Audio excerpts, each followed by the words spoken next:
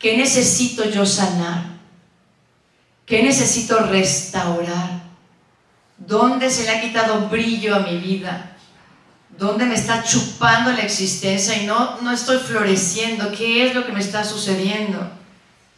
¿Qué necesito finalmente para redimir? Para eso venimos a un retiro. Solo Dios toca los corazones. Solo Dios convierte. Solo Dios de verdad hace que salgan bienes aún de los peores males. Para Dios no hay imposibles y por eso estoy aquí.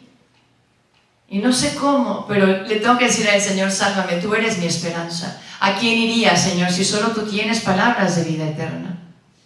Entonces vamos a desear y vamos a desear en grande, porque el Señor hace milagros en poco tiempo.